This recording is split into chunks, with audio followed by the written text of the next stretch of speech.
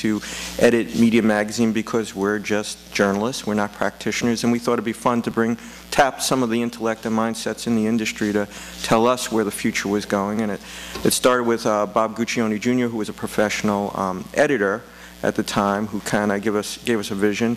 And every year since, we brought in a new um, guest editor. We had Alex Bogusky last year. This year we have David Skokna from Huge. If you don't know about them, you should read this issue. Uh, and the important thing is that they all bring a vision for where the industry is going. And when we put this particular forum together, we tried to bring an eclectic mix of personalities from digital media, traditional media, but also really importantly from Madison Avenue because the one thing that the marketing industry and agencies bring is a real perspective on the consumers. Remember, there are really only three ways that media content gets funded. Um, I pay, you pay, or someone else pays. So either the consumer's paying directly with premium subscriptions or some kind of commerce is taking place. And in the old model, it was advertising. And the new model, we're still trying to work through it. So we're going to have some um, very influential folks here explaining how they see those models progressing. One thing I do want to say is we do cover the future of media every day, almost every second at MediaPost, but we're looking very near term. You know, we're looking at the trees. So it's really fun to step back, look at the broad perspective of where we're going, not the long, long distant future, but you know, things that are going to change in the next 18 months that are going to transform our media economy. So the uh, group we brought together is very eclectic. I'll go through them really quickly. Um, really importantly, we have people from Madison Avenue who understand where the consumer purchasing um, perspective is going because that's still an important part of the equation. So we have Trevor Kaufman, who's CEO of Schematic leading design agency, an interactive agency owned by WPP Group, doing very futuristic things with how people engage with media. Laura Lang, who's CEO of Digitas, the flagship digital enterprise within Publicis Group, really far, far future thinkers in terms of how consumers are engaging with digital media and traditional media. John Ross, who's president of the Interpublic Emerging Media Lab, actually he's now president of Shopper Science, which is a new division of Interpublic that's really focused on understanding you know, when the consumer gets into the store and starts grabbing those things off the shelf, you know, what led to that decision and what influences happened that kind of made them want to grab that product versus another. Something important to consider. We have Paul Rossi, who's Managing Director and Executive Vice President of The Economist Group, a leading content publisher. Hilary Schneider, who is Executive Vice President Americas region for Yahoo, a leading digital publisher and portal. Evan Williams, co-founder, CEO of Twitter. I don't think I need to explain that, but I don't have 140 characters worth saying. Um, Fred Wilson, co-founder of Union Square Ventures, one of the leading VCs in Silicon Valley, and you see all the activity going on this week. I hope he talks a little bit about that. I'm kind of curious. We have Michael Wolff, uh, founder of Newser, columnist for Vanity Fair, one of the great antagonists in our industry who really kind kind of pushes the discussion. I'm glad he's on the panel today. And uh, Lauren Zalaznick, who's the president of NBC Universal's Women and Lifestyle Entertainment Group. So with that context and background, I'd like to introduce Andrew Heyward, who is you know, one of the preeminent advisors of media companies, big and small, right now, helping them steer their way through this. Of course, he's the former president of CBS News and a great moderator. So I'd really like to introduce uh, Andrew. They're all going to come out now. Thank you.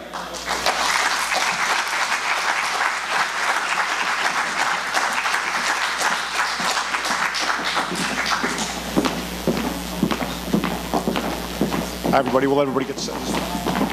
You hear me okay? Yeah. It's, everybody sit down. Um, welcome. Joe made it easy by introducing everybody. So uh, if, for those of you keeping score at home, uh, we're in alphabetical order here. So we have Trevor, Trevor, Laura, John, Paul, Hilary, Evan, Fred, Michael, and Lauren. Um, and uh, it's a large panel for a large topic, the future of media. So what we thought we would do is have a very simple format. Everybody will do 10 minutes of opening remarks. I'll do closing remarks, and then we'll stop for your coffee break.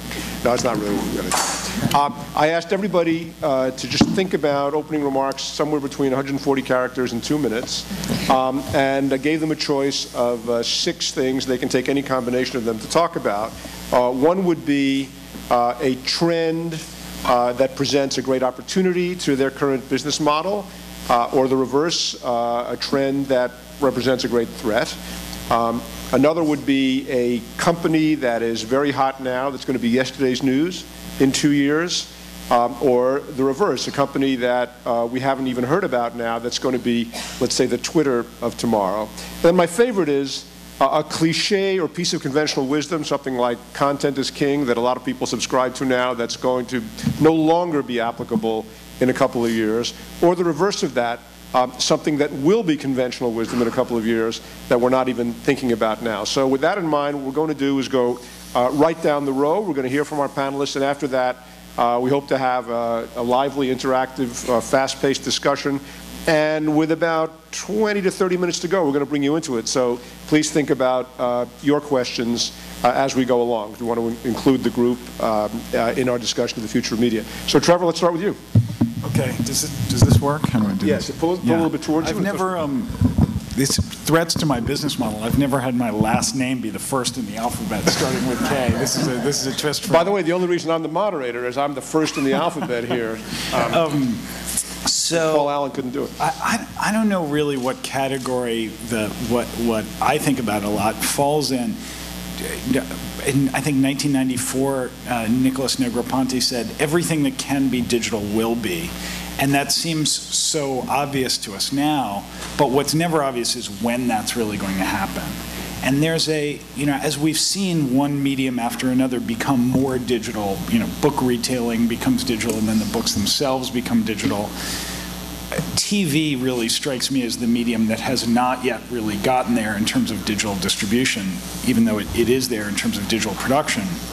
And when I think about conventional wisdom, I think about everybody sort of poo-pooing interactive television and and on-demand television. Right now, the TV market and the cable companies are actually doing very well. But when I see Comcast now, to me, the and you know a lot of cable companies are, are clients at Schematic. Uh, I, I, see a business model so much like the way AOL was, where you're paying one company who manages the content, the advertising, the access, et cetera. And I think that at, at some point when we least expect it, that's going to become disaggregated, whether it's through an Apple TV or a Google TV or some kind of in-device chip. So I don't know exactly what question that's answering, but that, that's the thing I think is sort of most ripe to occur at the moment. Well, in the spirit of what, um, what I think about a lot, the answer is consumer behavior. Because I believe consumer behavior is way out ahead of the way uh, the media and marketers are acting and where they're spending their money today. I think it's a dislocation that is going to have to be changed.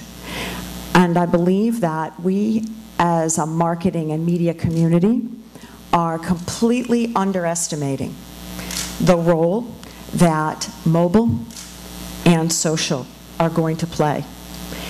The one thing that never changes, no matter what happens, is the way people feel about the need to be social. It's like the air we breathe. It's a connection that has to happen. What changes is the technology underneath it. And the technology that is coming in terms of our mobile devices, everything from those things we hold in our hands that today we call phones, um, all the way to the next generation of iPad and tablet devices, are going to change the way that we engage and interact with entertainment, news, content. So, what will be profoundly different for all of us, sooner than I think we even understand, is that we will no longer talk about social as a channel. We will no longer talk about mobile as this thing we should think about later. Mobile and social are inextricably intertwined, and it's going to be the way that we engage, that we communicate, and it will redefine the nature of engagement with consumers. So um, I run something called uh, Shopper Sciences for Interpublic and the Emerging Media Lab, which is a think tank, a research center. It's actually a physically working lab, and it's about the size of a regular suburban home filled with the latest kinds of technologies you can imagine, everything from 3D to uh, to mobile to advanced technology we can't show you because it's hidden in a secret room, and, and everything in between. So, of course, uh, representing that, the topic I want to uh, I want to address today is coupons. um, the world's largest marketers come to the lab.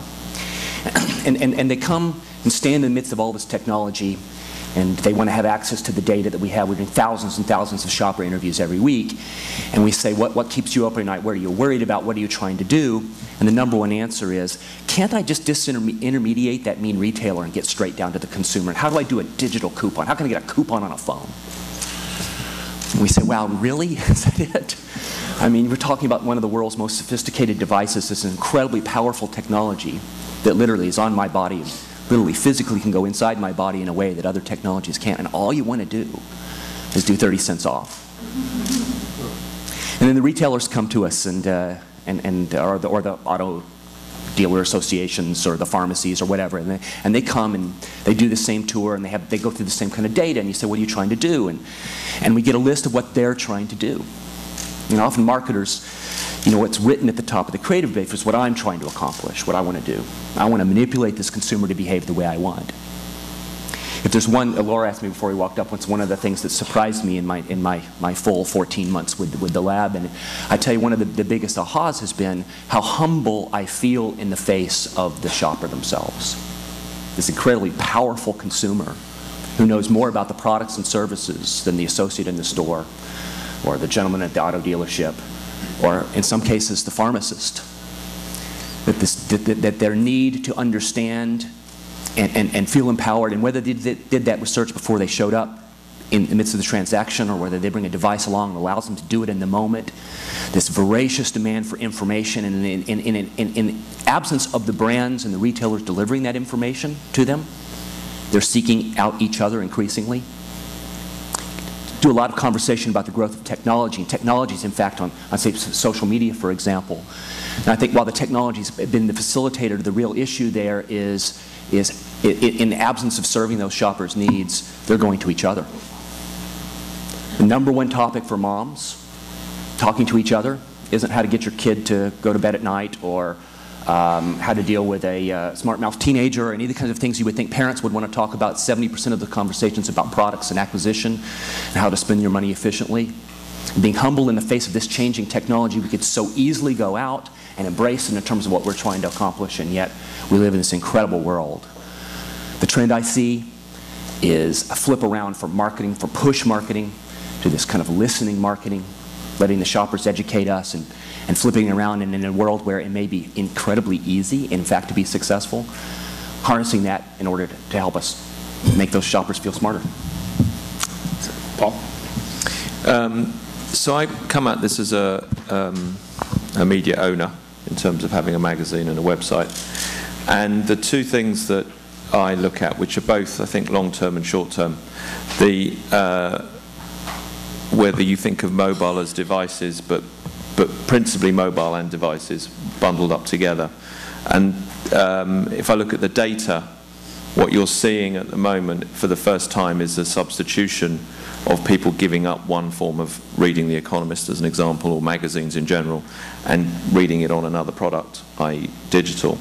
So there was a piece of research done recently amongst business travellers uh, by Business Traveller magazine, and they asked them simply, do you have an iPad? And this is in the UK where you know it's a little bit um, later uh, adoption. Do you have an iPad? Are you thinking of buying one? So 16% said I have one, and 13% said I'm thinking of buying one.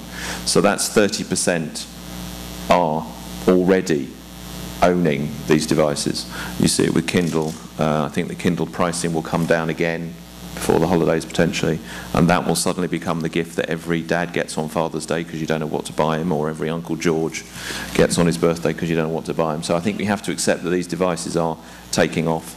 So the change in behaviour of consumers in terms of reading um, magazines is a definite uh, issue for us.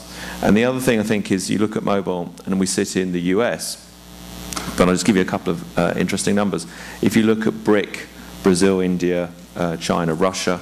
If you add Indonesia on there, which becomes BRICY, which isn't very exciting, but just imagine that gets added on the end there. Um, there are over 3 billion people there in those communities, of which today only 400, 450 million are online with a PC, but there's 1.2 million cell phones. And India takes off 3G, takes off in India this year. So I think you're going to see this incredible explosion of online media consumption in various forms, and I think it is text, not just not just web.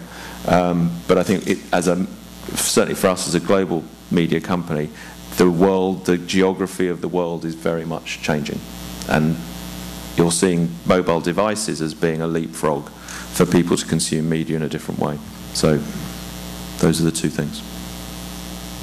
Well, in, uh, in thinking about it uh, in honor of Ad Week, I think the adage that I would go to is the, the traditional adage of marketers, which is, uh, I know that only 50% of my marketing works, but I don't know which 50%. And I think that was kind of a funny thing people said 20 years ago. I think today marketers don't find that amusing.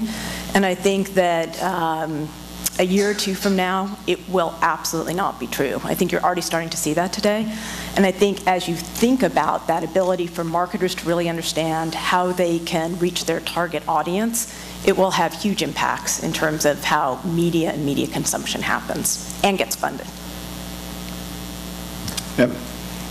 So, in terms of trends, I would pile on to what, what Laura said about mobile specifically. It's, it's an easy one. Everyone knows that mobile is the future of everything, but um, I think the implications aren't fully appreciated, and we don't know what all those implications are, but a couple that, that come to mind for, for us, and mobile is, is, to answer the question, what's exciting for our business, Twitter is started on mobile. It's all about conciseness and immediacy, so that's one of the reasons we're excited about it. But um, I also think it's going to lead to a lot more media consumption, even more than we're seeing now. Um, the, the iPad and other devices are interesting, but I think they'll be dwarfed by smartphones, uh, which are still growing like crazy. And it's not the iPhone that's going to take over the world, but Android phones are going to be selling for 50 bucks, and everybody's going to have those, which is going to drive tons and tons of, of web, online web usage. But the web is not really prepared for mobile.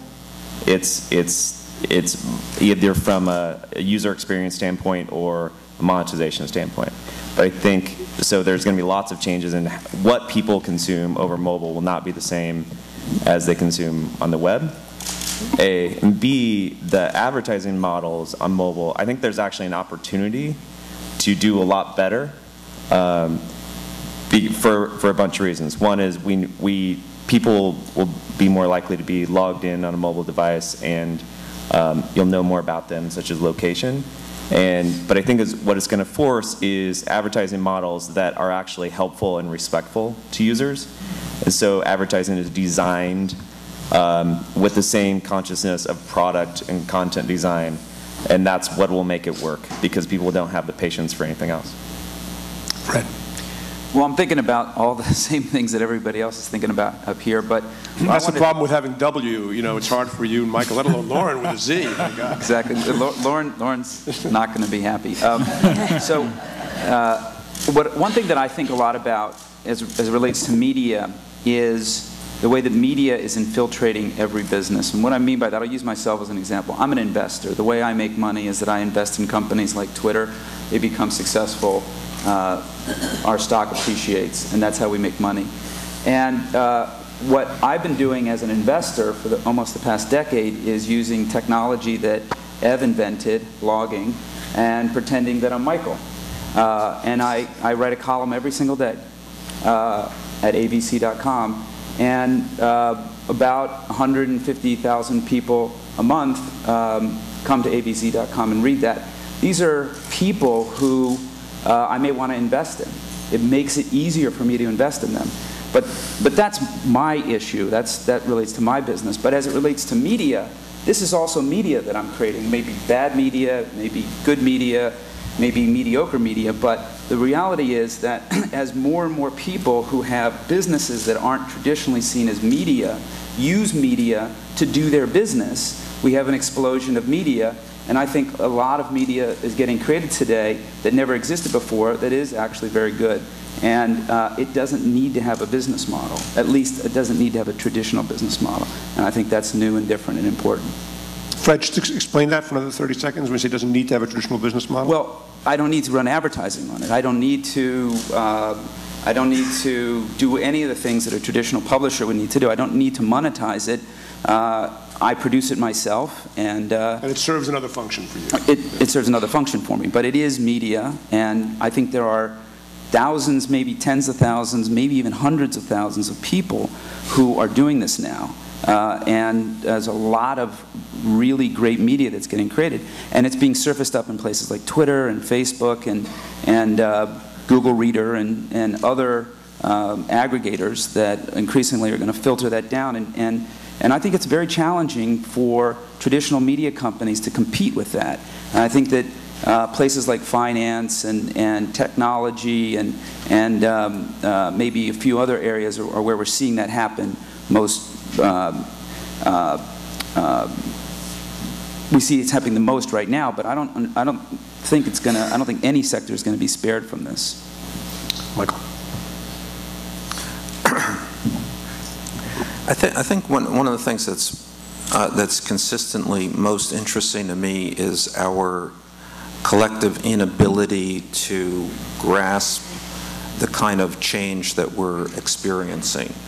Um, um, I mean, we sit in this building which, um, uh, which is mostly occupied by a company that is, uh, um, can't fathom the fact that it probably won't be here in the form that it's in um, within a relatively short time. And most of, most of us here can't fathom that fact. Should be okay till the end of the panel, by the way, so don't worry about it.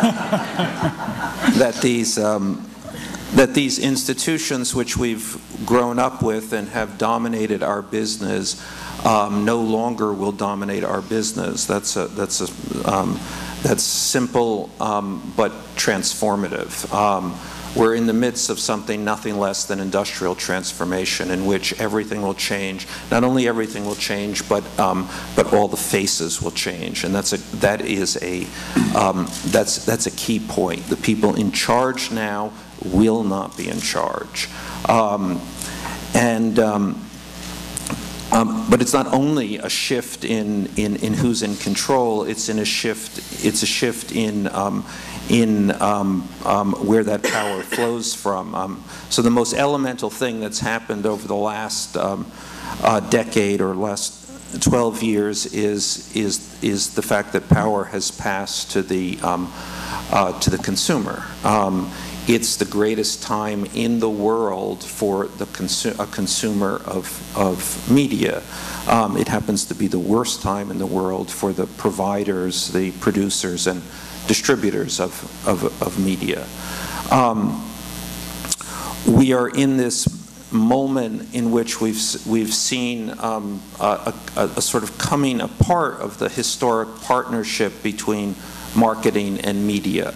Um, and that's not so much the detriment of marketers, which are finding enormous other ways to, to, um, uh, to find an audience, although obviously they have their, um, their issues and their problems um, uh, too, but it's devastating to the, to the media business.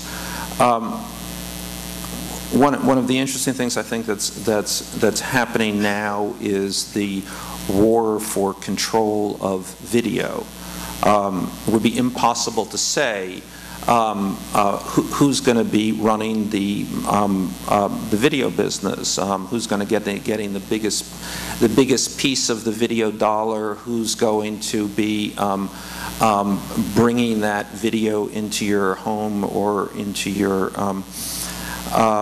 into uh, your laptop um, actually it would be impossible to say what on what screen that video is going to come. Um, but he who controls um, the video um, um, um, used to be Dick Tracy, and when I was a kid, it said, "He who controls gravity controls the universe. he who controls video controls the universe." but then it's not only uh, the traditional media business, which is in a state of radical transformation. The new media business is also in a state of radical transformation.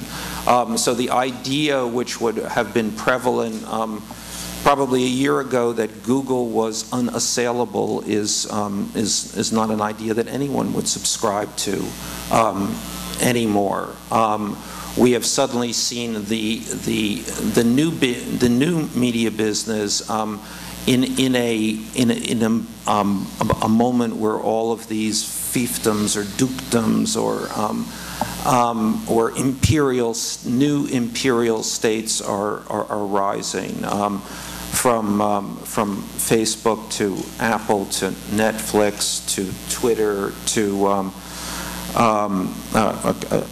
a, company that uh, I was actually just at a, at a dinner the other night, this company Spotify, which will shortly come to the U.S. and um, be potentially an iTunes killer. Um, um, I, it's anyway, anyway, it's the most extraordinary and exciting um, period than I could ever imagined, and I'm grateful to be um, um, to be able to make a buck off of uh, telling everybody that they're going to be out of a job. Lauren? um, you know, instead of uh, death by a thousand paper cuts, this was like a firing squad by nine people, smarty pants. So first of all, traditional news guy, traditional media gal have these analog retardo microphones, and the cool kids have their 21st. So I think that's a statement, not about alphabetical order. The nine bullets out of the assassination team, I will let Comcast know that their business model is faulty as soon as I get the legal chance to do so. I'm glad you're going to make all my content for me, and I'm glad I won't ever get any money for it again and have the wrong feeling about who controls video. That aside, um, I would say that two things. I think the thing about trends, I'm also longstanding teacher's pet, so I'm going to answer the teacher's favorite question. Um, The phrases of today and the language that drives these kinds of discussion, I'm going to go to a really uh, resilient one that people insist on saying now that's really not relevant today, that will be even less relevant, which is, when's it on? And another one that kind of plagues these kinds of panels, and I hope we don't get diverted by the question today, how do you define your company? As a media company or a content company? As a media company or a technology company? Not so relevant. It seemed like a new question. It never was. So I think both of those, old school question, new school question, not too relevant today, much less relevant later. And most of all, you know, I think that the conversation is so exciting about trying to predict the future. It's such an unusual time for so many people at so many different levels to be trying to get out in front of what's happening to them today. Um, and the re, you know, I, I, I kind of have this fundamental belief that if you can just look back, you know, maybe 100 years ago when most people took trains or horses somewhere. And some people had these, you know, you know, clunky things with four wheels and a crank on the front. And the people who made all of that had to decide in advance, you know, am I in the horse and carriage business? Am I in the train business? Or am I in the business of getting people to the place they want to go when they want to go, not on my train schedule, easier, don't have to feed the horse, and faster. Car goes faster than horse, not as fast as train, but on my schedule. So I got to decide, I got to convince my current owners and my new soon-to-be owners, what kind of business are they in? Are they in the square box on a console business? Are they in the uh, storytelling business? Are they in the most expedient delivery of exciting and dynamic and compelling content business? And that's the story of, of the future. And my last thing is, I'm going to um, offer you up a drinking game just for this morning. Water, coffee, or booze if you have it. Anyone who begins their sentence, their answer, with the word so, take a, take a drink, because I'm not in that digital club yet, and there's a clear line of who's cool and who's not. I'm not yet cool. Anyone who starts their sentence, you'd have four shots down the hatch if you did that game by this answer. Could I, could I make a point here? 'Cause I- Please. I, I think that there's, that there's, that's an interesting metaphor um, um, in terms of industrial transformation, which business are you in? And what we know um, largely from the history of industrial transformation, is that you can't make that decision. Is that the business you are in is the business that you are fated to, and somebody else, because they have different skill sets and different temperament, gets to um, um, uh, be um, uh, be the guy who runs the auto business instead of the um, the buggy business. But don't, don't we make a little too much out of fate sometimes? I, I think we're always saying things are changing, there's this crazy change, we're underestimating the degree of change, and all of that is, is true. But the web was around for 10 years before, you know, Evan and Biz started Twitter, before there was a Facebook, or before, I think there's a lot of you know, Amazon is a is a e-commerce platform. Is it the perfect e-commerce platform? Is it exactly the right one that has now created the paradigm for every other e-commerce site, or was there some degree of authorship that that that made that change? So. I think there's a, a. I think one of the things that is exciting is we're not purely fated to, while the consumer is tremendously powerful, they also still are in the position of getting, even if it starts in a garage, they're the recipients of what's invented. So there, there still is a certain amount of, um, it's, not a, it's not a predestined, predetermined world that we're in. Well, so to the degree that leadership is going to be influential, and certainly the people on the stage are going to play a role in that, there does seem to be a tension between traditional models, which are still remarkably resilient, and these emerging models for content distribution and marketing that we've been talking about. We're just past the beginning of the television season. It strikes me that those tropes really haven't changed very much. Uh, same kind of programming, same kind of promotion, same kind of adoption by marketers. There's still the need for scale, for common culture, for products we've been consuming for a long time. So listening to this set of opening remarks, you think, well, all of that, you know, forget about it. But in fact, managing the tension between what works now and has worked and what's going to emerge strikes me as an important role for these leaders. What would you say, you know, Laura, uh, um, starting with you, what do you think marketers, I, I, guess, do you agree that, or do you think marketers have moved quickly enough to this new world, and are they leading or following? I won't use the word so. Um, we all were going to until you said that. Now we're terribly self-conscious. Okay. I wasn't going to, but now I want to. Okay. I'm going to say so just so that the people can drink. I agree. They missed four shots. what is happening now that I believe we're missing is that we, having, we now need a return to really good marketing. In the early days of marketing, it was about what does a consumer want? What is a consumer doing? How do we best fill that need? Today we get so excited about a new piece of technology or some new behaviors. Really, this should be the most exciting time for marketing. Because what needs to happen is to go back to where is a customer or a consumer on their journey? What is a mom doing all day? You know, what is someone who is leading in the B2B space, whose job it is, is to actually get new leads or new customers for a company. Where are they? What do they need? What content do they want to consume? Whether it's for fun or for entertainment. And we make a lot about this tension when really what should happen is we should go back and say there are great roles for broadcast media in sharing a mass message, in building brands, in tapping into culture. But there are also incredibly important new ways for us to get inside that journey and understand where someone is as they walk down the street. A phone, a smartphone, is an extension of your body. This is with you all the time. It's a part of where you are, it's a part of how you communicate, it's a part of how you consume. We need to rewrite the customer journeys and say, where are people and how do we create experiences as marketers that will grab them where they are? It's not one thing.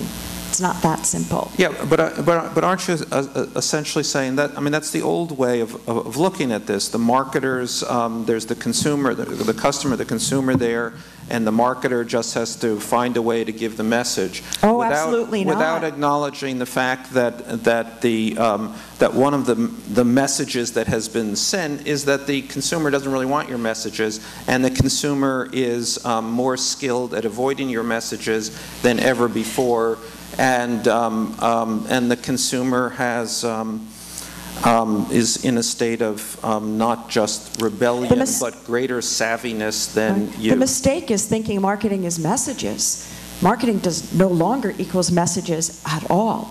I, I would, Marketing I is would, about inspiring people to engage in whatever way it works for That would, them. we, Lau- that's what Lauren? me- we in our, my business would call a message, by the way. right. L- Lauren and then I, I I would say that um, the whole medium of communication through content going in front of consumers is relatively new, right? Films are about 100 years old, very new, at most, right? 80 years old, 90 years old. TV is really new.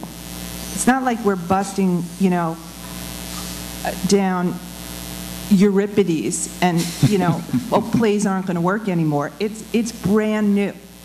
So advertising's even newer, and I would argue that the onset of digital, the rise of Web 1.0, set advertising back and set the markets back to the beginning.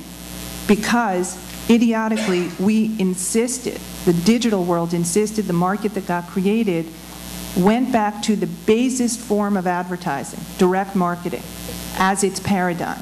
So a long time ago, people valued 1-800-mattress because it's late at night. That's what you run in late night. It's cheap, it's easy. People are in bed, and they're like, oh, my mattress is uncomfortable. I'm going to call right now, and I don't have the money, but it's $5 down, and I get a paring knife with it. Okay, that's ridiculous. But that was the metric of success for a banner ad, click-through rates. Oh, I feel like I'm, I'm searching sleep problems. If I don't feel like buying a new mattress right now, that ad didn't work and I'm not going to pay you for it. And that's direct marketing, long time, worst advertising on TV. That was the paradigm of digital. So we set back the thing called, you know, you can put bad names on it, you can put good names on it, it's the same words, branding, brand loyalty, marketing, not advertising. But we are all talking about people loving products. And new people are going to love new products. Some people are going to be loyal to old products. And that was a relationship, a long-time relationship, Coke, Pepsi, with your thing that you remember when you're eight years old at your ball game with your dad, or, you know, with your, you know, first boyfriend, took a sip, had your first kiss, whatever their thing was to evoke. That was a relationship. So I would argue that the rise of digital set us back in terms of what the market that was created um, at the price it was created for the basest and least effective form of advertising. And now we have to rebuild this relationship, and it's not going to happen overnight because uh, the iterations of it are argued about, and a market is created every year in the upfront. Digital has still not entered the upfront market, so no one will bet on a future, right? It's all about futures. It's all scatter. It's all in the, in the quarter. Forget about in the quarter, for the quarter.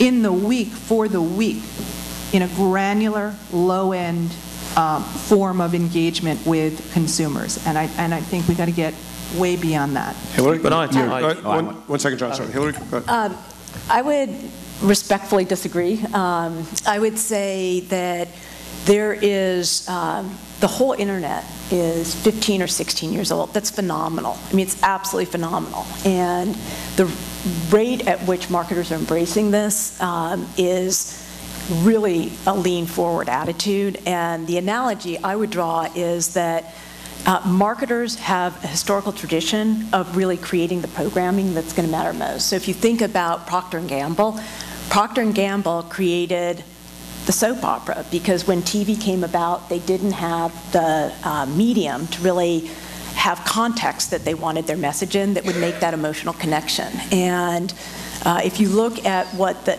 top brands are doing right now, and Laura could talk to this, and I'm sure many others could, is they're really trying to understand the idea that they don't have to reach all the consumers, they can reach their consumers, and they know a boatload about their consumers. And so they can begin to think about how do they create the content that is the context that they want to put their brand against. I, um, I totally agree. To me, that's a different issue. I think it's about life stage, about finding the right people to be advocates for your brand and your product and your content. And they're creating that programming. But, I- but there's, I but agree. there's also. I'm just about deployment and what the expectation is and the value placed on it in the market called advertising. But It's the- advertising week. It's, it's not content week. The, I mean, the, f- the fundamental point that you, that you just made here, that this is a medium that's 15 or 16 years old, and, and, and, and, and I, I guess your point was it's grown so fast, and, um, but that's not true. Um, that in fact, consumers, it's grown, consumers have used this medium, but marketers have been, have been very wary of it. I mean, the, the, the uh, marketers rushed into television um, at a much faster rate. I mean, and so what, I mean- let's, let's get to the nut graph here, which is that we've built a medium um, which is fundamentally supported by marketing, but it's not such a good marketing medium. It doesn't really work, um, or it doesn't work as well as other mediums have worked, or we haven't found the key to unlock what makes it work, and we're all sitting here, um, both marketers and, and, and media people, um, a, a, a kind of stymied. We don't know how to really make a big buck here. And Well, much of the because content... That's because we Oh, haven't ahead. tried, right? We're using old-fashioned monetization models in a new medium. When LeBron James writes a tweet that he liked the new Universal Studios movie, and Universal Studios goes into Twitter and sponsors that tweet and amplifies it, that's a new way to advertise. That's not an old way to advertise. When we start doing that in this medium at scale, we will find that it works. Putting a banner ad in front of somebody or running an interruption video pre-roll, that's dumb. We shouldn't be doing that. But you know what? LeBron is like television, making his, at, when he gives up his NBA salary, that's when you can tell me there's a new market created by his paid No, no. tweet for a movie. No, no, he's not getting paid for that. He watched the movie, he liked the movie, he told his fans he liked the movie. and Someone might have slipped him a DVD, is all I'm saying. but, but maybe, but I, but, but I write about stuff every day because I want to connect to my audience. He's doing it because he wants to connect to his audience. He's not doing it because he's getting paid. And, he, and by well, connecting to his audience, he gets a buck on the jersey that's sold at the NBA store. The guy lo- doesn't like movies that much. And Okay, but respectfully, to jump in, oh, oh, that's Oh, well, one, one, point, one at a time. but- Hold on, Michael, hold on one second. Go ahead, Laura, and then we'll get... respectfully, two things have been said that I would like to disagree with. One is that content is not advertising, and I would like to actually put forward a point of view that we have the wrong definition of advertising, and that we actually live in a post-advertising world. And it's a world where we have to go to market in different ways. Example, one of the things that Digitas does, we talk to our clients, we say we have to build active brands, not brands. Why is that? Because we don't believe that the world where we could craft a message or even pay someone to do content is the right world. It's a world where the way I consume my content is going to give me a path to feel differently about a brand. And I would argue that the development of content and the way we use content, whether you write it or whether we pay someone to write it, the way as a brand we connect to it, co-opt to it, and share it becomes part of our post-advertising world. I think the challenge admittedly is in the monetization of that for those people who provide content, but as a marketer, since that's not what I think about, I think about how do we do this better for brands. Content is very much a part of a post-advertising world, and the fact that we can really cannot say it doesn't work.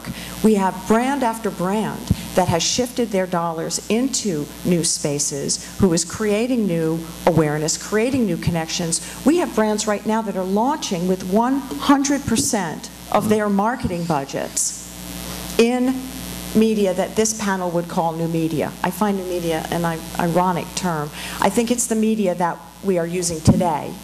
And I believe that as leaders, we are going to have to understand that there is a different definition of engagement and communication that goes into building brands.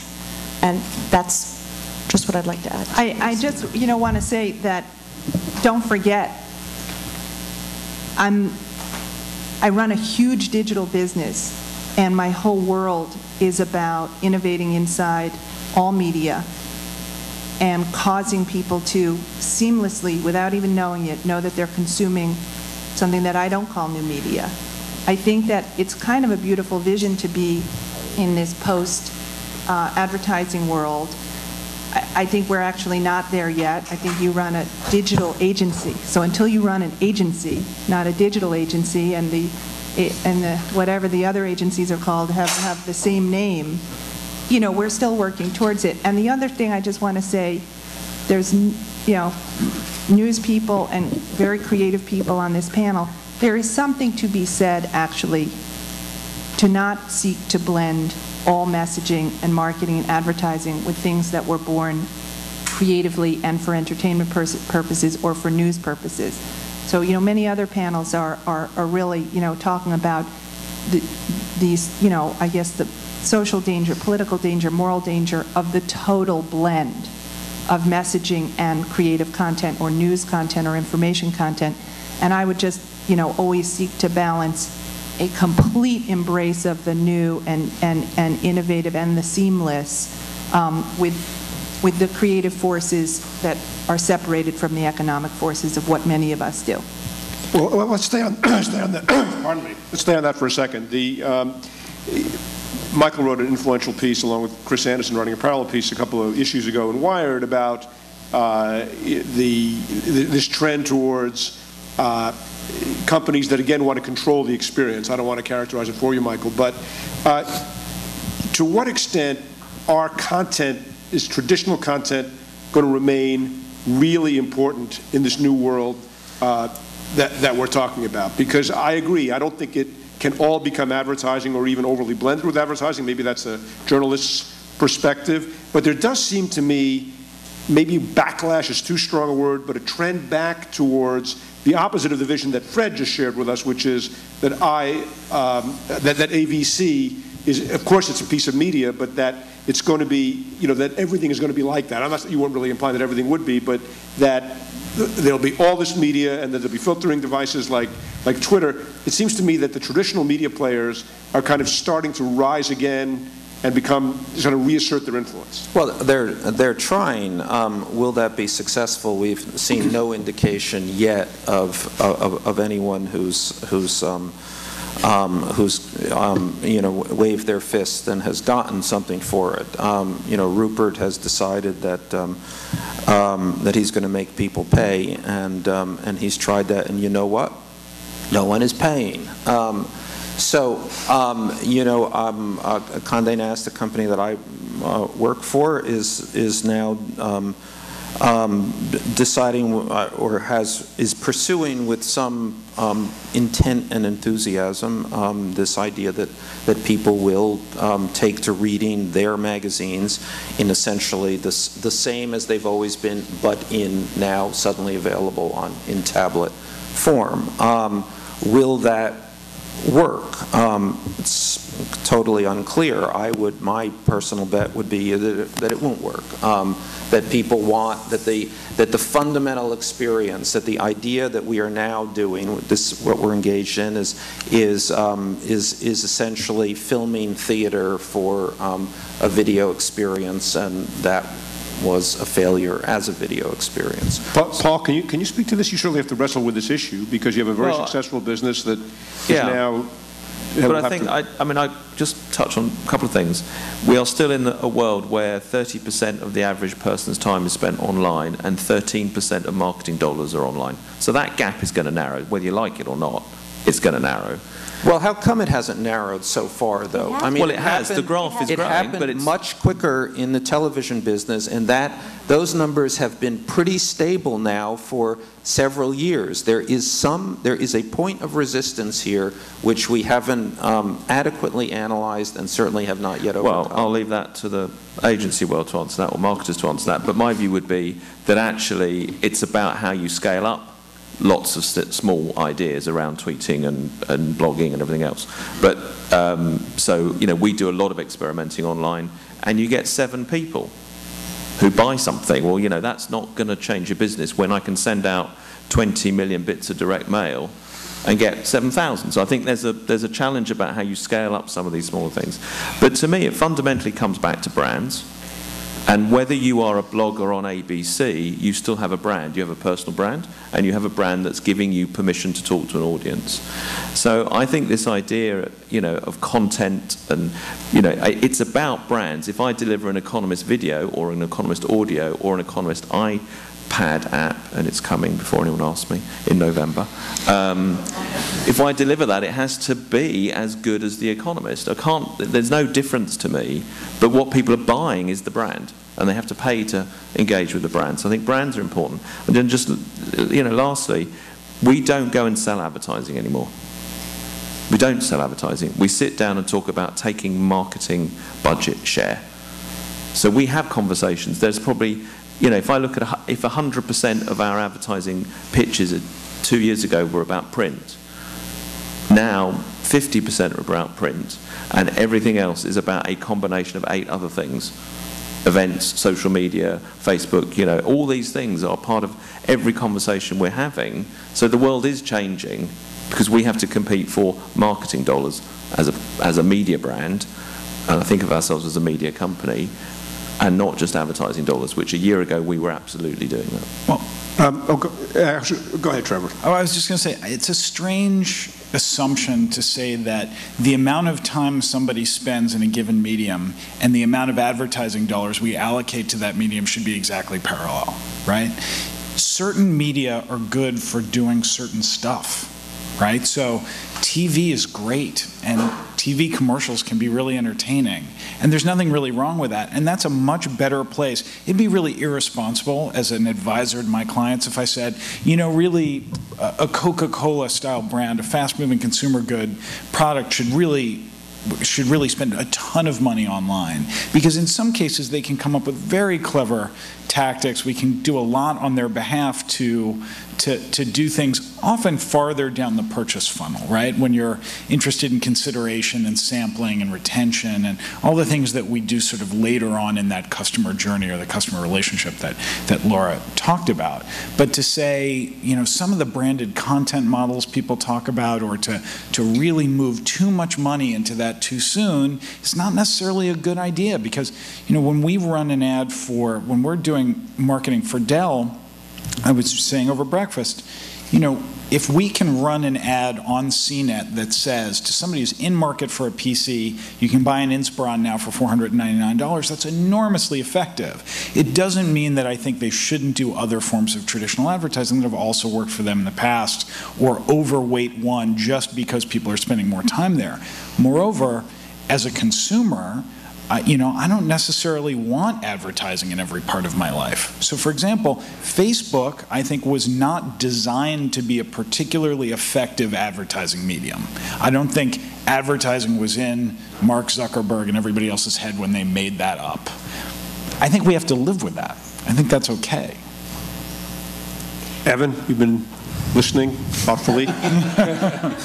you, you, you, your, your company is sometimes described as a social network or as a media company. What, what are your thoughts about this as certainly marketers are eyeing Twitter with great interest? And yeah. Fred cited a dramatic example of, uh, of LeBron James, one of right. many more to come, I'm sure. So Twitter wasn't designed as an advertising medium, but it's not a social network. It's, it's commercial messages fit very well in Twitter because it was designed as a one-to-many publishing system. And from the beginning, there have been companies on there who have recognized it's a very useful way to get a message to their constituents.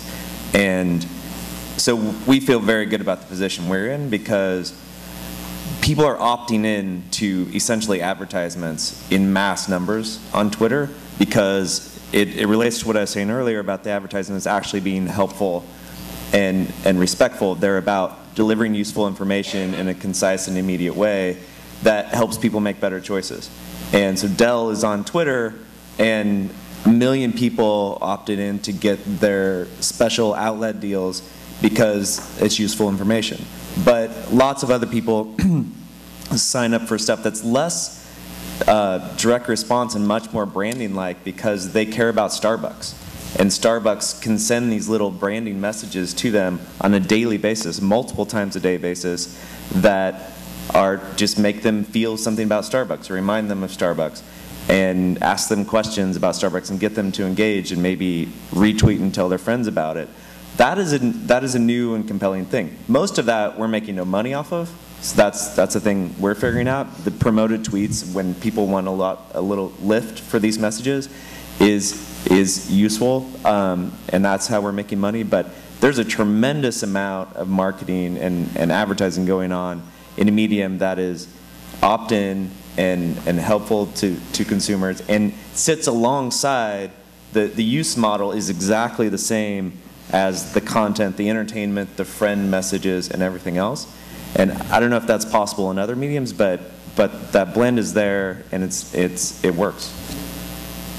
Can we, can we talk about mattresses again? Please. So, um, so i i- it's easy as a marketer, as a client, to, um, to be enamored with the, uh, the characteristics of, of high-level advertising and to talk about branding as if it's an end to itself. But when you sit down with shoppers and you talk about their needs and what they're trying to accomplish, um, you know, that the infomercial serves a lot of really important needs, as does something as particular as, as letting me know that the, the local Starbucks um, is doing some special or they have an, an entertainment in, in a local way. This idea that somehow direct marketing is, is a low form of, of advertising that should be discounted in the, in the face of brands, I, I, guess shoppers reject. And as, as an ex, ex-retailer who did a lot of really low form of advertising, I'm embarrassed to say, um, I, I, I, I, I, I think, I think I think we, we, we got to step back and, and look at what the consumer is saying. So, um, the, the needs that I have today as a shopper, when I'm making a decision, I got to spend my, give up my money, certainly compounded by the economy. But it's also more than that, right? The shopper walks in today with a laundry list of guilt-ridden, angst-ridden uh, behaviors they bring with them. Is this product um, environmentally responsible? Um, what are the economic uh, indications of, of, of this? Am I, am I, am I employing some um, underage child in, in India? Is that a good thing? Or the fact that they're working in this factory, is that a bad thing? Um, what, are, what are the environmental issues with the product and how do I dispose of it? And certainly the health and safety issues when, when, I, when I put this product onto the dinner table or, or hand it off to my children. And so you've, you've got this incredibly lonely decision that's driven with so much more information, that's that's driven by so much more, more paranoia about making a great choice. And if a 30-minute infomercial at night helps me learn more about the bed, or that tweet gives me an, an, an, an an indication of what's going on in my local marketplace, man, I'm going to subscribe to that because that made me sh- smarter in the moment. I From- agree. from the Just media one, one more comment. Just one more comment. So, um, it's it, if, if, if I if I step step back and look look at at at, at the utility. There's so much uh, going on in, in utility in terms of new technology. If I look at the utility and, and the value that it drives in the moment, and, I, and I, it's very easy to point to some sort of iPhone application and say that's utility, that's, that's giving me information in the moment. If I step back and look at the shopper's journey end to end as just shopping, Right? It's not like we think of it, like pre-shopping, and there's direct mail, and then there's the low form of advertising, like the packaging in the store and the hideous wobbler on the, on the retailer shelf. But if I look at that as, a, as an end-to-end gestalt, and, and, the experience that the shopper goes as they go, they go "Ah, I don't know what I need to do, and at the end of this, I've, I've made a decision. To the extent that new media can, can help empower and inform and wrap that experience, man, we've got a winner. From, from the media point of view, this is the problem. Direct marketing is low margin. It has never given us enough, um, uh, essentially enough profit to create content. So direct marketing only pays for marketing. Brand marketing pays for something much larger, and we get to make um, uh, great television shows and good magazines, and the environments that ultimately lead to um, high-margin marketing. So what we've done by this, by creating this, this, this direct medium, is we've lowered everybody's opportunities.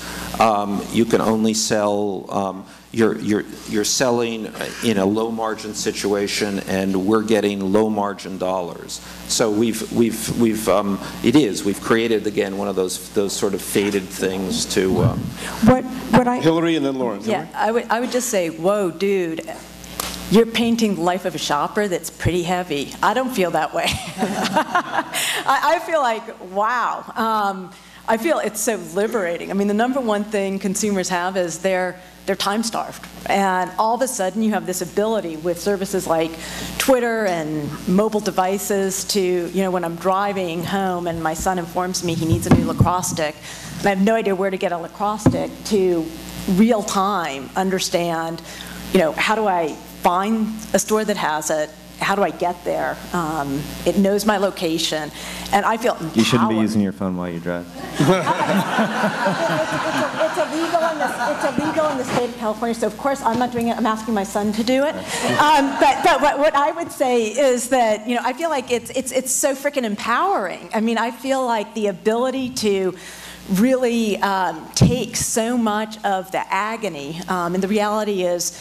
Um, you, you can get so much more done. And for marketers to be thinking about how to take advantage of um, that real time. And, and I think this is kind of a, this, uh, I don't know, this Faustian debate of is, is it is it performance or is it brand or is it, you know, do I want to drive traffic to the stores? Most marketers that are out there that have major budgets, it's yes and yes and yes. They want to build a brand. They want to drive performance um, because they have some metrics, and most of them want to drive some kind of an action. So um, it's all of it. Lauren? Um, I, I was just going to add um, an, another way of looking at this shopper marketing thing, which, by the way, is absolutely a fascinating new world of uh, consumer insights and behaviors that go way beyond this thing called the demographic, which is over and you know really takes the newer form of that, which you guys referred to before, you know, the life stage approach, which is right on. But as people become better shoppers because there's more choice, uh, I, I, run this group at NBCU called the Women in Lifestyle Entertainment Group. And we do a tremendous amount of uh, insights work on women in particular. And the, the stunning set of facts that I'm sure you guys all know is 85% of all consumer purchasing power, absolute dollars, in the United States today are driven by women. And it's clearly not just in the grocery aisle. You can't get to that number with that. It's technology, auto purchasing, financial services, financial planning, et cetera. And the best thing about the, the overwhelmed woman, mother, taking care of a sick parent, um, working, uh, almost outnumbering men in the workforce, everybody's working, recession, is that most women are willing to do a lot of homework and they like to be informed. And again, I just, you can't blame or credit the technology. If the care circle, the sewing circle, whatever it's been for a long time, that circle just got a lot bigger in a hurry. And they're not afraid to ask for advice. And when they get their opinion, best stat out of the 85% stat is when women decide, at the moment they decide they like that product, the first thing they do is not decide to buy it. 96% of those women who can identify that time that they decide to like the product want to tell, quote unquote, everyone they know that they like the product. And that's such an open way that I would just say that direct marketing now works both ways. And that work. We're, we're in violent agreement, absolutely. Right? So, so it's just, it's just an evolution, and I just wouldn't get stuck on the thing. Um, you know, we, we did, uh, I'm actually getting a lot of research from iVillage, which has this passionate 30 plus million unique audience a month. That's a lot of women. 20,000 brand mentions a month on iVillage. We, we went and found out all about that.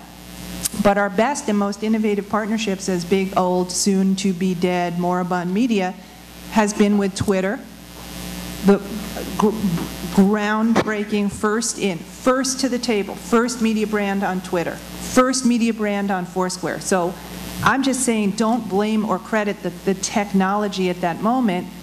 You know, do what you're supposed to do, whatever you feel like you've been put on the face of the earth for, go serve it wherever it is. So I, I, I just think that the whole shopper marketing thing and the, and the technology is so fantastic, but, you know, maybe not the beginning and the end. I think one of the things we've all touched on without being explicit is the notion of digital data. We've talked a lot about how we want to market in this new age or what the role media plays, but one of the most interesting things we now have in front of us is an extraordinary amount of digital data. We're not online anymore, we're digital. Whether that digital is the way we use our phones or ultimately interactive television, it's going to be very difficult to distinguish digital and non-digital as we go forward. It's more a question of how we want to use that information to make our efforts more meaningful or create value in that digital data chain. Example, we talk about a customer journey. It's not really a sequential, you know, I become aware, I consider, I buy. It's more like the term in mathematics, a random walk, where I might hear about something, I might go talk to my friends, I might go have some fun, later on I might actually buy it without even thinking about it. How do we as marketers and as media understand that new random walk?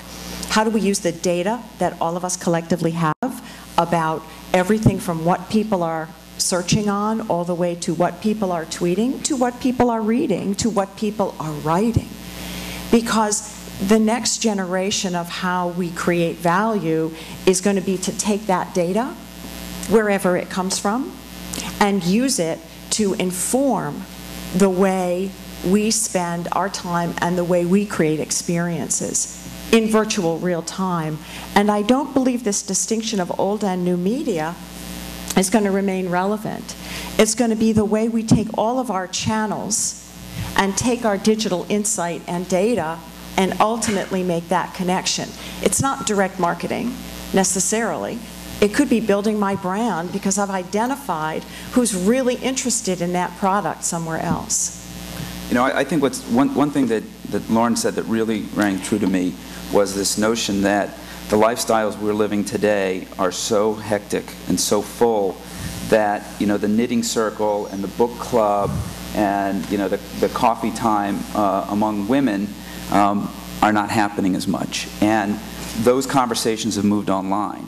And those conversations are public now. So it gets back to uh, the comment about more data. So those conversations are actually exist. They exist in the forums and iVillage. How many brand mentions? Tw- uh, uh, uh, over 20,000 a month. Because think about it, 20,000 a month. And, and I don't know if you're doing this yet, I hope you are, um, is if you could turn those brand mentions into marketing opportunities for those brands, even if they're negative brand mentions, just to be part of those conversations. Could never do that before. Brand could never show up in, at the, at the knitting, knitting circle and say, I'm here now, let's be part of this conversation.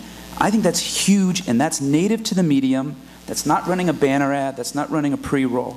And that, I think, is, is where the action is. I, I will say that yesterday we announced um, this thing called the Women at NBCU Brand Power Index. And it's probably very clumsy, and, you know, we just, we were overwhelmed by this incredible and unique set of data that is the first time we've experienced it.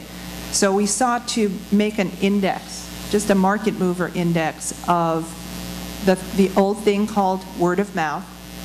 And uh, one, one data stream is person to person, actual word of mouth that we can capture. Um, online mentions, right? Just straight up web 2.0 mentions. And the third data stream is social media mentions. So these are the three newish ways outside of the book club, knitting circle, care circle, that we found were the most consistent and high-powered data streams. And we indexed them and just made a list of the most mentioned and the, the, the, quickest movers up or down, because you want to know why all of a sudden something is going up or down. And the first, first of all, we announced it, and the top 20 brands called and said, why am I number X, and am I up or down, and what are they saying? And the greatest piece that Fred points to is that a couple of years ago, people were loath to enter the space because of the fear of lack of control, right? Well, what if they say something bad? What if I plunk this new, this new can of whatever product into the, um, you know, online knitting circle and they hate it? And the thing that I think marketers and product people and human beings have gotten to a point of is saying, I can have a dialogue with this hateful product. And if you can convert me back even a little bit, then you don't even have like a fast mover up the, up the index. You have a brand proselytizer who will be like a virus in the positive way to then tell those, you know, th- that, that whole circle how they mm-hmm. feel. Well, this is, this is all, all great. I mean, this is a great vision, and direct is a, is a great vision, and, and, and relationships are a great vision. All this sounds great. How come nobody's paying for it?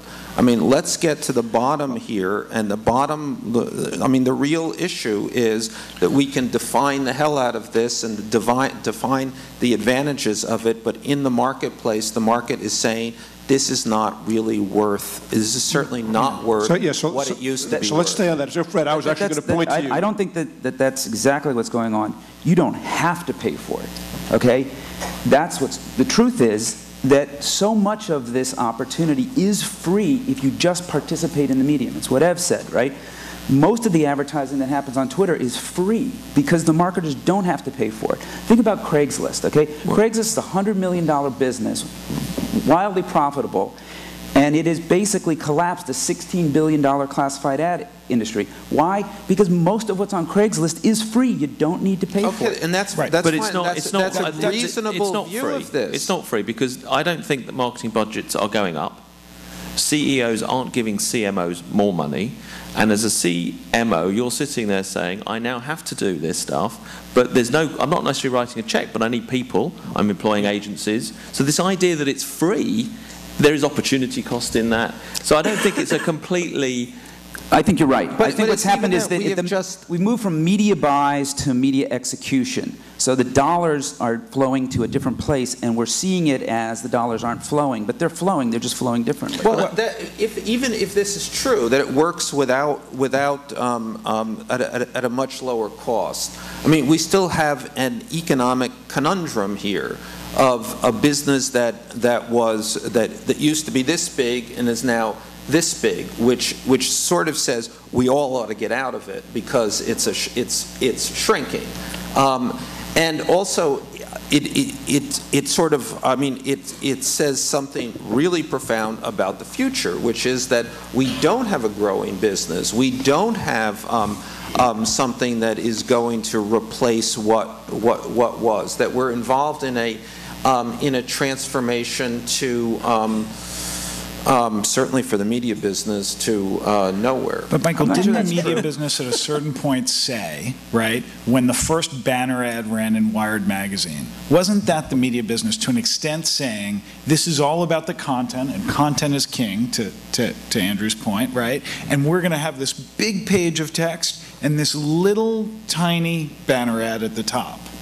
And then now, fast forward to several years later, we're saying, gee, the web isn't a great advertising medium in the way we'd ideally like. The dollars aren't flowing. Well, if I look at a print copy of Wired, it's a really good advertising medium. They're big, full color ads. But there's no equivalent in the experience, the web experience of reading Wired. Well, okay, so let's, in other words, what, what what you're saying is that the people who have created this new medium um, have for some reason not been able to respond to um, um, marketing exigencies, to create something that, that, that really works. And so in that, I mean, in that regard, it's, it's true. All other media has been created by marketers. And- and Um, Suddenly, this, this media is creating, created by technologists, to your point about, about Facebook. well, and Um, editorial Not set up as an Well, well, advertising can I- medium. I, I, I think we should just get some facts straight. We talk about um, digital media isn't growing. It's just not true. It's not true. So if you just look at the facts uh, of the situation, all other media, if you go back and you look at the last several years, I'm talking about the US, probably is true on a global basis, is uh, percentage of eyeballs going to other media is going down, percentage of eyeballs going to digital is going up.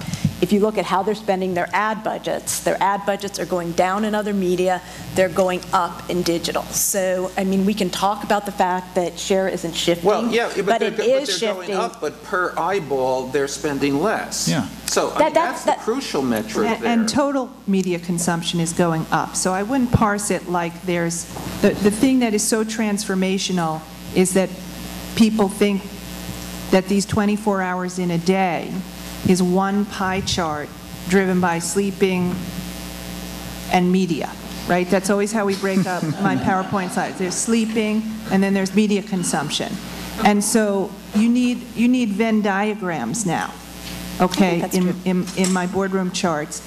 And so total media consumption is going, I, I I went to the Yankee game on Saturday, they lost, it's terrible.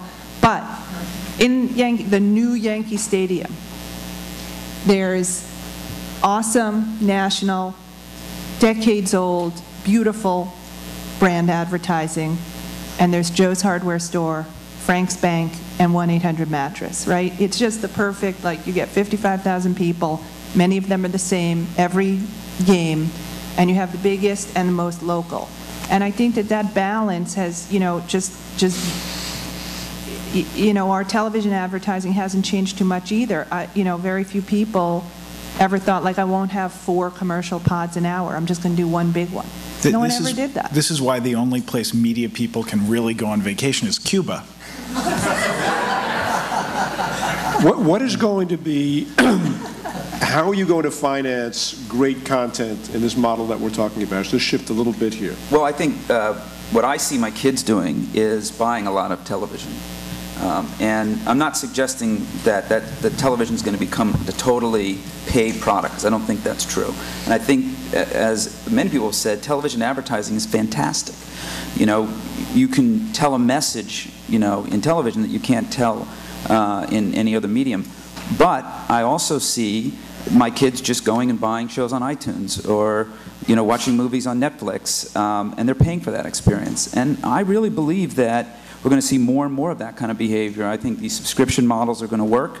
Um, maybe not in newspapers, don't know about magazines, but I definitely think in video content, expensive, highly produced, high quality content, even inexpensive, high quality content, Yes. uh, people will pay for it. I Yeah, think, you know, but I- even that model, that's going to be a, a- a troubling model, because even if they do pay for it, you're not going to achieve the levels that, the, the the revenue levels that we achieved when these were mass-market advertising opportunities. Depends who you mean when you say "we." Right, there's a lot of, there's a lot of components to the we. Um, I, I view it as, you know, more, more, more societal than the dollars to dimes argument or the, you know, social media versus new media, whatever that means, marketplace.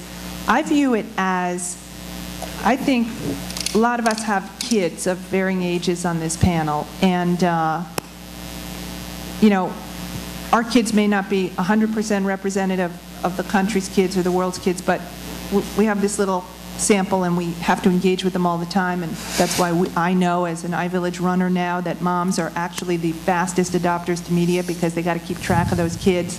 Where are you? Tell me, show me. I'm going to pick you up at 3:15. But the societal element is the phrase back to one of the setup questions. I think the phrase for the future is that these kids are addicted to choice, right? And if you can capture an addiction in society, you're, you're the pusher man, right? And the old adage on the schoolyard is you give them a little taste for free, and then you got them. So I think that right now we're testing giving them a little taste for free, but they're addicted to The Office, so they got to buy it on Hulu.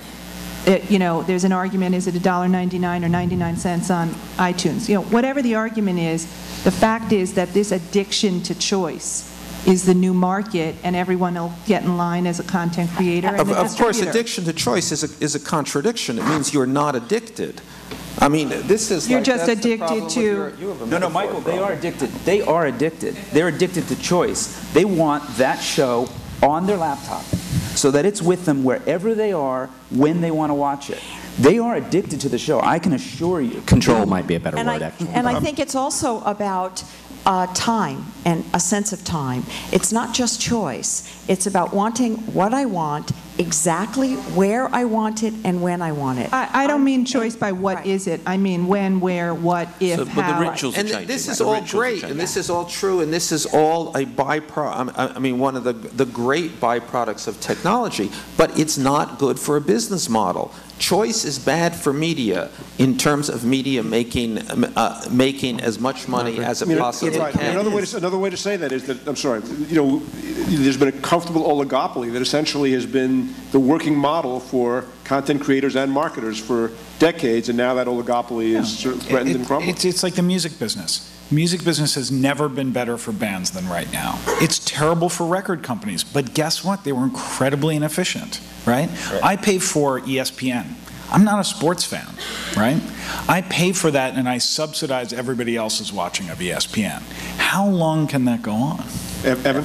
Well, the, the choice question thought about another way is the reason, of course, it's not going to work as well because people didn't have a choice before but to sit back and watch the TV commercial. And now they're not only buying content, they're TiVoing it, and given the choice, they'll skip the damn commercials. They don't like those as much.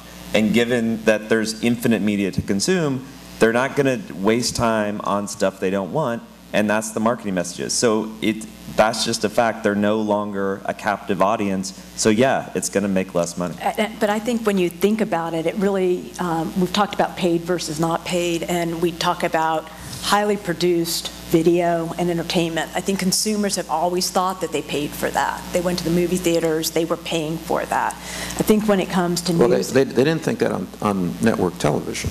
uh, they did on network television, but I Since the think dawn that- of cable, though, they've been paying for that. Yeah, network. they've been paying in different modes. I would say there's a big distinction, I'm trying to make a different distinction, which is between um, entertainment content and news and information, where I think for the most part, consumers have always felt that they were paying for the delivery to their doorstep, or they were paying for the magazine to be delivered to their homes. And so there's not a consumer mindset that they've been paying for that. Now, what's interesting about it in terms of to your point, they want to skip the advertising. If you look at most of the women's magazine, the most popular issue is the September magazines. Why is it the most popular issue?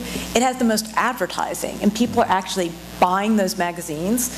My husband will say to me, why, that's all ads. And my point is exactly right. You know, I, I want to see those ads. And so I think as we think about these models and, and where it works and where it doesn't work is, um, you know, where, where will they pay? Where is the advertising so compelling to me that, um, you know, I'm actually buying something to get those ads? Yeah, but- but I- I have to interrupt. The they the September issue of Vogue, the September issue, the famous September issue, now a beautiful movie, I think that that is just a classic media chicken and egg thing. The, there's more advertising in it because it editorially covers the trends for the year, so it, it gained more, I mean, that's what, And that's what also it has, Hyundai it has say. more readers in it too. So advertisers are going to, to the readers, not But- the other way but- but- around. But, but, but the consumer likes it. Right, I'm saying that, that there's no barrier just because it's thicker Right. because of ads and the same number of editorial pages, there's no barrier to that. Um, I, I would also just say that there's something amazing about the power of consumers, which is that people don't buy the cheapest of everything, right? Poor people have to. Recession-struck people do more.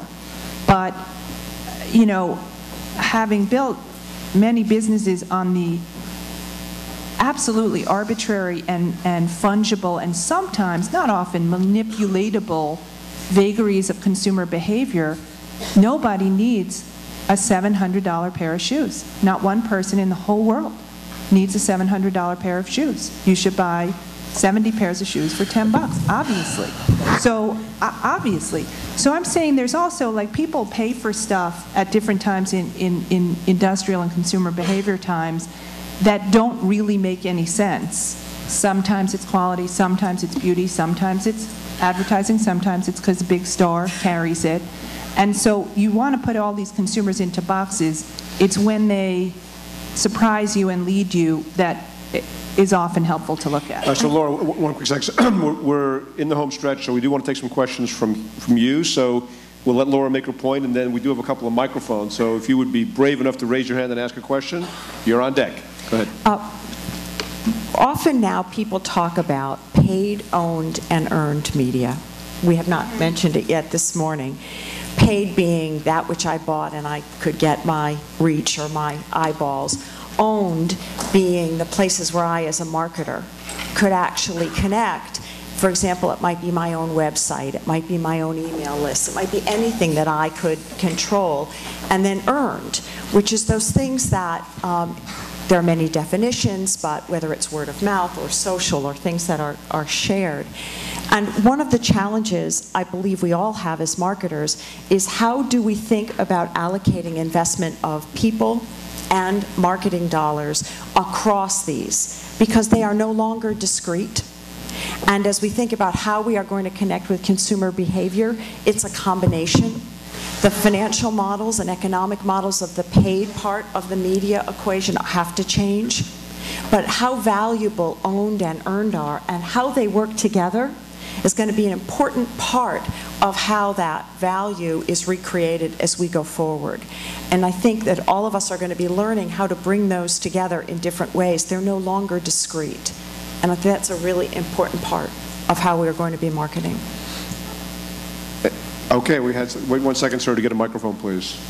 If you wouldn't mind identifying yourself, and uh, if there's somebody particularly want to ask- answer the question, say so. Yeah, sure. Hi, my name is Tom Kurz, and I'm a co-publisher of the escapistmagazine.com. Um, we're sort of a games and geek culture rag in the uh, new media space. So my question, or I guess comment, goes first out to uh, Michael, who I'm a big fan of, and uh, but you know to the whole panel, I guess, for comment. And that is that I think in the past, advertising dollars um, spent on television or on billboards or on magazines have been driven by traffic, really just traffic, like, you know, how many people are tuning in and how many people are driving by a billboard or what have you.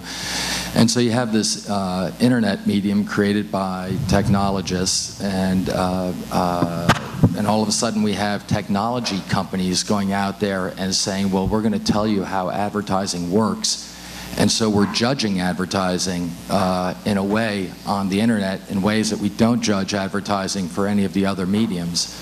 And so people go ahead and they spend money in the mediums where they don't have to explain why or show results. And then at the same time, we're looking for results uh, from internet advertising that really don't reflect how people use the advertising. So I, I, I think you have a situation where the money hasn't accelerated into the online space at the same way that it was with other mediums because we're calling this new medium uh, to the mat and asking them, asking you know, uh, online uh, uh ads to behave in a way that we haven't asked of anybody else. And uh, so, you know, if we accept the adage that 90 or 95 percent of advertising blows, and then we go ahead and we say, oh, and we also have to measure its success online. It just takes a little longer for it to, uh, I, I, think, for the dollars to go in. We still haven't figured out, you know, what's the best way to message online. But uh, it's clear to me the money has to go there. I just think we're holding it, and, and, and it's the agencies and, and the technology companies that I actually think need to take a look at what are we really doing to ourselves uh, why are we holding ourselves hostage by this sort of uh, uh, measurement that we don't that we don't use for anything else? So, if anybody wants to comment on that, one one of the interesting things is is that we've we've also um, we jerry rigged this this um, this notion of of eyeballs. I mean, this notion of eyeballs. Um, um, and of measured audiences comes from old media, and then we've adapted it into this new media in which we have all of these um, uh, new techniques and, and I think questionable techniques of moving audiences. So we suddenly have um, have most of our audiences visiting. Most brands are there because they, they don't know why they're there. They, they're there because because Google suddenly put them there. So they don't know why they're there. They don't know where they are um, they don't know what they're reading. They don't know what kind of context this is. Um, um, uh, the, the entire experience is, um, um, is, ha- becomes an atomized one. Um, So we're delivering these audiences that are, I would argue, um, fundamentally low, low, low-value audiences. Uh, You, you, you s- uh, sorry. Go ahead, Paul. No, I think, the, the- you know, why do we do it? Because we can. I mean, you know, why do we have this measurement system? Because we can. But the challenge for media companies, to me, is that, and this is back to the economic model, we need content to put that ad over to get the click. What you're starting to see, and that we've sort of touched on, on um, branded content, but you're, you're going to see it with news, I think, is that effectively, as media owners, you want the news that's going to generate the most clicks. So do you start creating content and going into different directions because you're driven by this metric as well? So I think there's a slightly more dangerous problem in terms of as media owners and thinking of, of content. And there's a very interesting company called Demand Media, which absolutely takes this, this algorithm thought to its end conclusion, which is we will only write things that will give us a higher ranking and a higher click um, And on those are all people, and and we've tricked everyone to come because, because we've SEO'd the hell out of this, and that's our real. I'm not sure it's a trick, but, you know, if someone's searching something and that's at the top, for whatever reason, Right, but you hire a cheap freelancer who puts Lindsay Lohan in the headline, and that's your business model. Well, what, one of the interesting things is, it all sounds so diabolical to me. I actually want to just come back to the idea that um, there's a lot of goodness in it for the consumer now. So if you just take the real-time information we have at Yahoo, we can tell during the Olympics what people are searching on. So if it's um, downhill racing and there's a lot of red marks on the snow,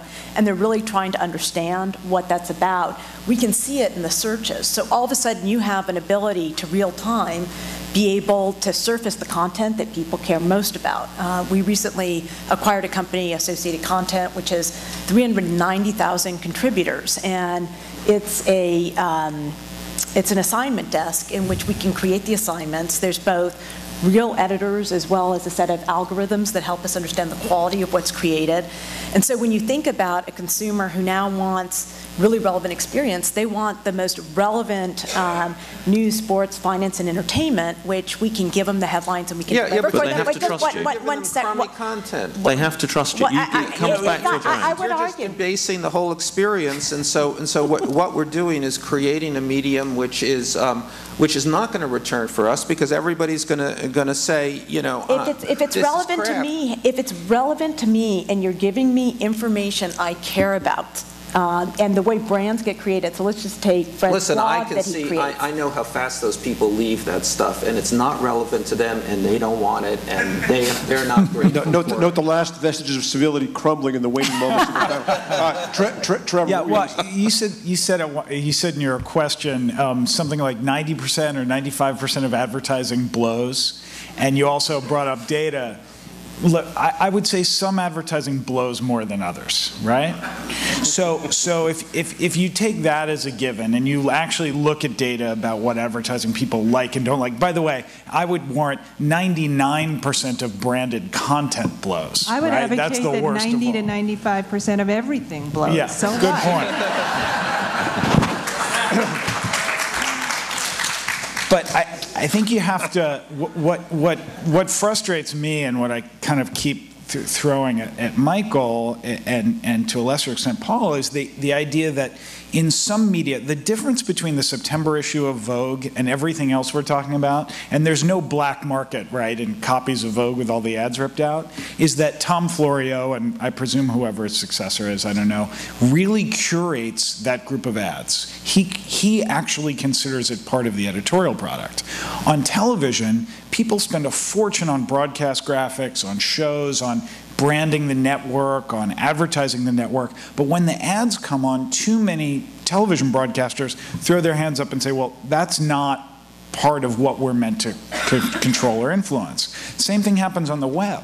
There's sort of a slot there, and whatever the ad serving company pushes in there is what winds up there. And too few online publishers say, how do I make advertising with my advertising partners in here that's going to be entertaining and have value to my user base. If that would happen, I think we'd feel a lot less that it blows. And if you look at data, consumers actually tend to like richer, more animated, more interactive, higher bandwidth advertising.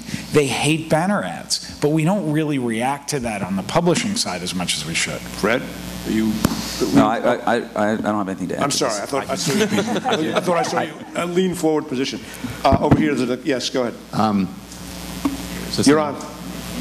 Um, Okay, yeah, I'm- I'm not going to mention the company I'm with. My name's Sam. Hi, everybody. Um, I, I, I, I have to, uh, I have to say that um, this gentleman over here mentions that um, there, that we're being forced to measure online advertising in, in a way that's not exactly uh, the way the user responds. And, and just, just as, a, as an example, you know, people talking about how everybody hates these banner ads. Um, my, my company gets behind the data and actually looks at this stuff. And people don't hate banner ads, and people actually do respond. I think the, the agencies are doing a horrible job responding to it. We're actually seeing the data and presenting it to the companies um, and their clients.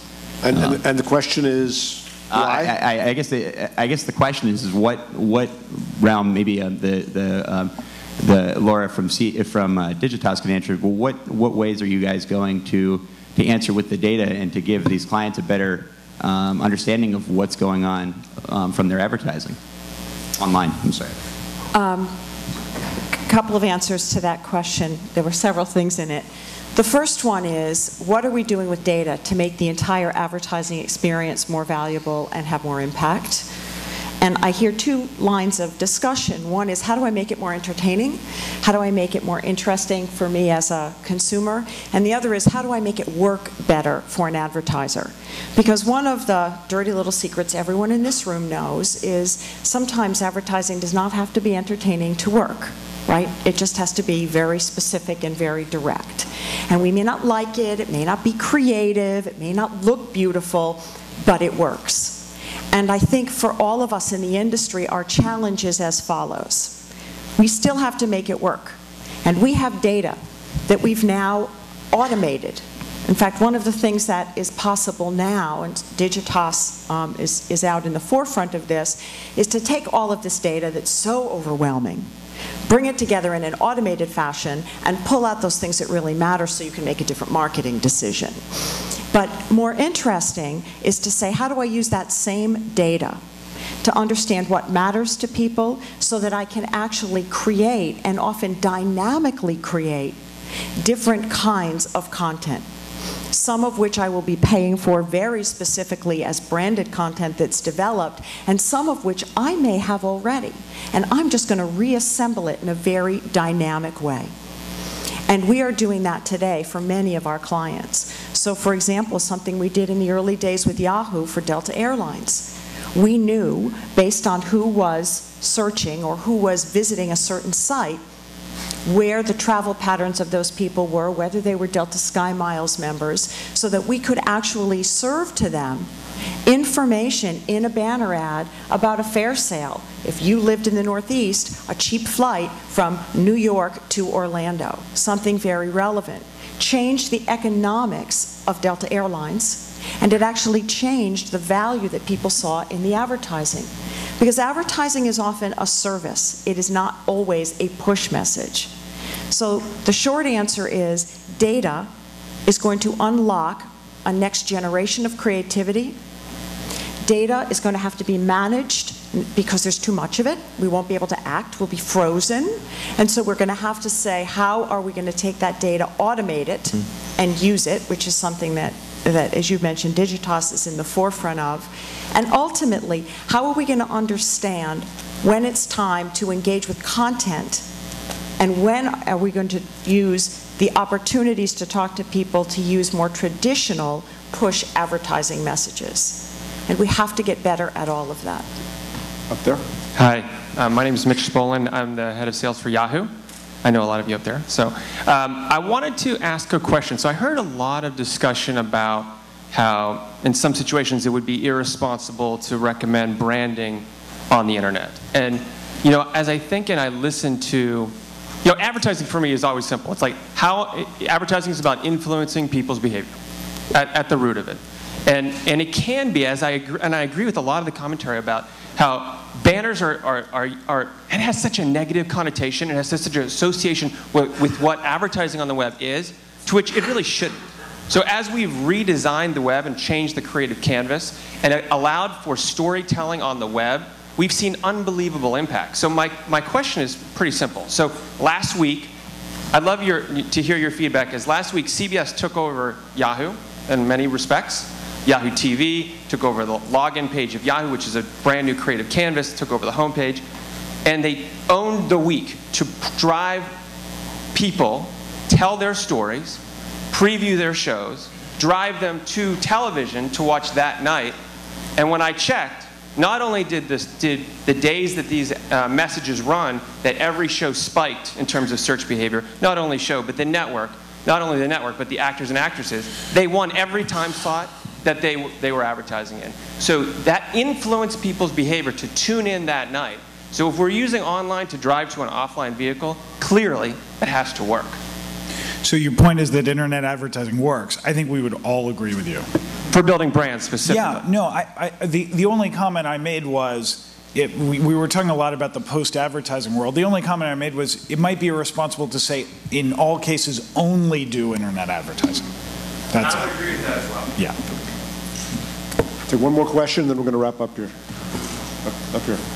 Uh, You got a lot of people who want to ask questions. Give somebody the microphone, we'll have one more question. All right, there you go. What's that? All right, you want to do a couple more? Fine. What's that? Two minutes. Well, really quick question, no speech. If it's not quick, don't do it. It, it won't, no speech, but the future of media, what's the government's role, if there is any role? I didn't hear the question. What is the government's role in the future of media, if there's any role? Can somebody Big. want to give That a... could be a two-hour topic, Uh, right I I was going to say, is there a 140-character answer to that? Yeah, I'll I'll give you an answer. They should simply uh, mandate that uh, no uh, distribution network can control what content the uh, consumer can see and cannot see. Net neutrality, that's all we need. Some anti-farm bill legislation would be good, too. Uh, But the, the, the, the real answer, it's, it will be uh, a big role, probably uh, ever, ever growing, ever bigger. And around privacy. privacy is the big thing, particularly with this administration. I think they should stay out Well, as you, as you can tell, as you can tell from this last exchange, there, there are probably many more issues that we didn't get into than, than we did or were able to, even though we had a lot of time uh, and a lot of people. It's an enormously complex issue. It'll be interesting to come back next year and see. Now, notice that we didn't hear any hard and fast predictions, but we did get into some trends. I think there was consensus around the notion of a vastly empowered consumer and how her behavior and, and her desire to connect in her own networks is going to change the business of, of, of everybody here. But how that plays out for companies big and small is still something uh, that's ahead of us. Uh, I wanted to thank all the panelists for their generosity and their uh, willingness to engage in this dialogue, and thank you. Thank you very much.